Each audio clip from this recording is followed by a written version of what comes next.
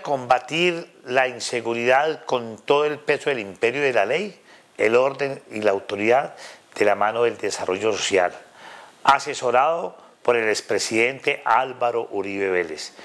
El desarrollo social es importante con un mapeo de riesgos porque cada región tiene sus propias debilidades.